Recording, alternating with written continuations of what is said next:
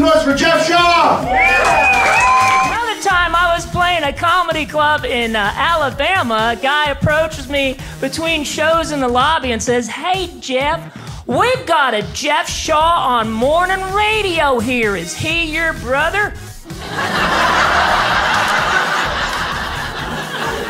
I said, yes, our parents named us both Jeff so as not to confuse deep thinkers such as yourself.